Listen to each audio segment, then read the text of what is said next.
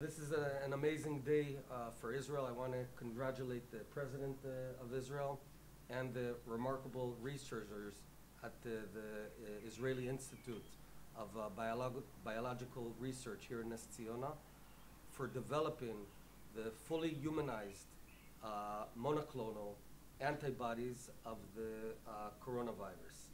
This is a, a global breakthrough, the first step to achieving a cure uh, for the coronavirus.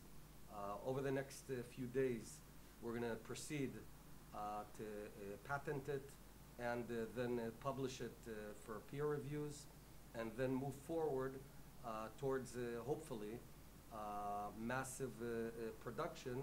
Uh, we've got a bunch of uh, obstacles on the way, but I'm uh, confident uh, that the amazing people over here will uh, be able to uh, overcome those obstacles.